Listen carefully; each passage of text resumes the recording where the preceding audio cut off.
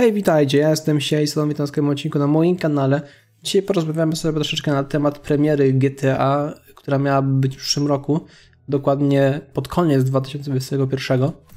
A dlaczego to o tym chcę poruszyć ten temat, skoro było już innych kilka odcinków na temat tego, że GTA będzie dopiero w 2023?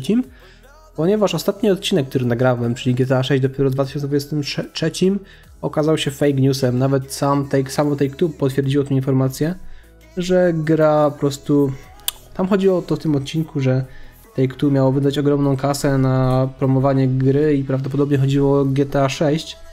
No a Take-Two powiedział, że nie, jednak nie chodzi o GTA 6. W ogóle nie jest to kasa przeznaczona na Rockstara, ponieważ e, Take-Two ma zamiar wydać trochę więcej gier w najbliższych latach, co już zapowiedzieli. I to po prostu jakby jest kampania reklamowa dla innych gier, chodzi między innymi o ten remaster Mafii, podejrzewam, czy cywilizację nową, bo tam mają sporo tych gier. E, I nie chodzi w ogóle o Rockstara, co no nie, nie. Jak to usłyszałem, tak poczytałem tak naprawdę, to, to troszeczkę się zaskoczyłem tą informacją. Ale czytając wasze, wasze komentarze pod moimi filmami, czy to właśnie najnowszymi, czy mi starszymi, wszyscy piszecie o tym, że GTA pojawi się albo wraz z nową generacją konsol, lub w 2021. Najwięcej komentarzy jest takich. I przeanalizowałem sobie parę stron, czy to polskich, czy zagranicznych, jest wpis gościa, który nazywa się PSE Rebus, czy PSE Burus, e, także ciężko się wymawia, ale chodzi o to, że na swoim Twitterze opublikował niedawno datę premiery The Last of Us dwójki, którą Sony zapowiedziało troszeczkę później, ale daty się zgadzały. I powiedział on też na swoim e, Twitterze, i twierdzi on, że GTA 6 będzie wydane, że deweloperzy wydadzą to jesienią 2021 roku lub e, zimą, czy też początkiem roku 2022.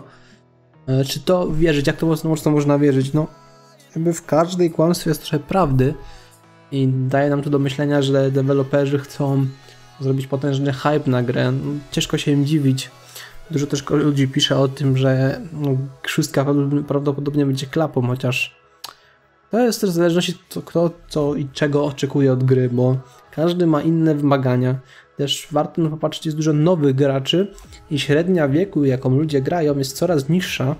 A to wynika z tego, że kiedyś dostęp do komputera był trudniejszy niż w obecnych czasach, gdzie praktycznie każdy ma dostęp do takowego sprzętu, słabszego czy też lepszego, ale tu już nie wnikam, oraz konsol, które są coraz bardziej zaawansowane technologicznie, pozwalają na uruchomienie większej ilości gier. Ale o co mi tu chodzi? No, Zobaczymy, co nam czas pokaże.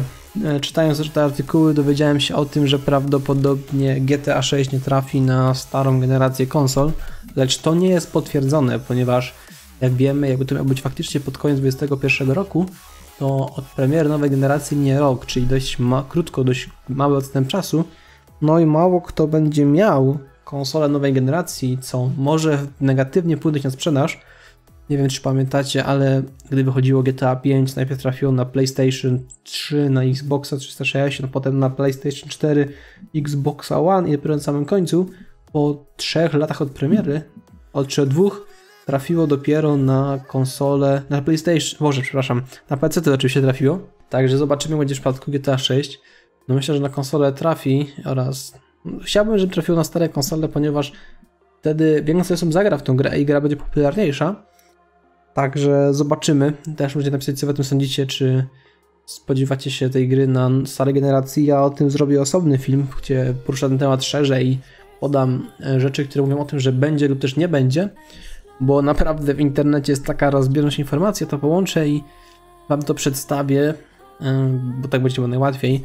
Moim zdaniem powinna trafić jednak, wiecie, no teraz się nie patrzy na to, żeby gra była dobrze zrobiona, tylko żeby potężną sumę zrobiła. Jak wiemy, GTA 5 no, jest na tylu platformach, w sumie na, na chwilę obecną jest na starej generacji, na nowej generacji, ale na tej najnowszej, czyli na PlayStation 3, Xbox 360 oraz na PS4, Xbox One i na PC, gdzie dla PlayStation 3 oraz Xboxa 360 gra już nie jest wspierana. Ilość kopii GTA jest potężna przez te tyle generacji.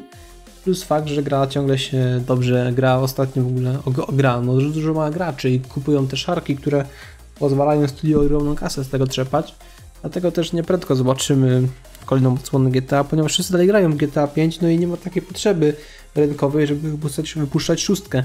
Tak, jest jakaś liczba graczy, którzy oczekują następnego GTA, ale kurczę, jak coś znosi złote jaja, tak jak kiedyś Counter-Strike, to po co wypuszczać coś nowego, co się może nie przyjąć, a póki to zarabia, to będziemy to robić dalej, nie? Także z tą myślą was zostawiam. Ja mam nadzieję, że taki krótki odcinek Wam się podobał. Jak tak, to zasubskrybujcie kanał, udostępnijcie znajomym. Czy zostawcie łapkę w górę, jak się podobało. Jak się nie podobało, to łapkę w dół. Mówię do Was Jason. Widzimy się w kolejnych odcinkach na tym kanale. Myślę, że w przyszłym tygodniu kolejny jakiś film taki dłuższy. No, zobaczymy. Na razie, cześć. Bajo.